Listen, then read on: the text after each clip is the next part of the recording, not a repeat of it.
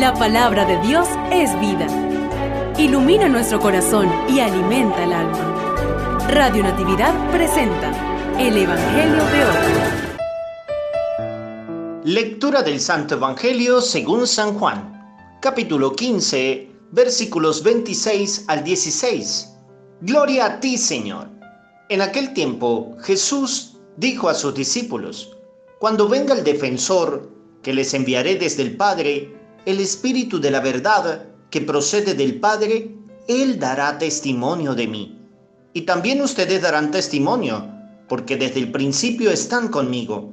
Les he dicho esto para que no se escandalicen.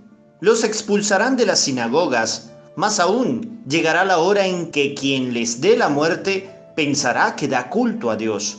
Y esto lo harán porque no han conocido ni al Padre ni a mí. Les he hablado de esto para que cuando llegue la hora se acuerden de que yo se lo había dicho. Palabra del Señor. Gloria a ti, Señor Jesús.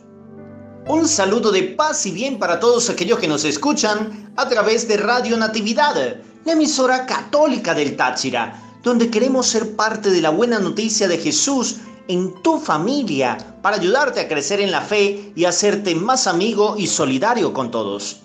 Hoy, queridos hermanos, Jesús nos indica en el Evangelio que al aceptarle, también tú y yo recibimos el Espíritu Santo, ese Espíritu prometido y que Él envía a los que están dispuestos a creer en su nombre, recordando que creer es vivir, creer, la fe es un estilo de vida, todo un conjunto de actitudes con las cuales expresamos nuestro amor a Dios.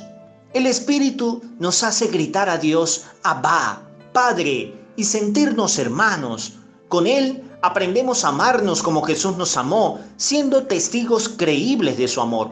Iniciemos entonces con mucha esperanza esta semana pidiéndole al Señor Todopoderoso que sea Él quien nos ayude para que tú y yo podamos mostrarle con nuestras vidas ese amor verdadero por Él, porque amarle es dar testimonio de Jesús.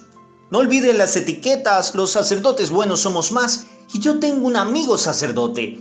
Dios te bendiga. Gloria al Padre y al Hijo y al Espíritu Santo, como era en el principio, ahora y siempre, por los siglos de los siglos. Amén.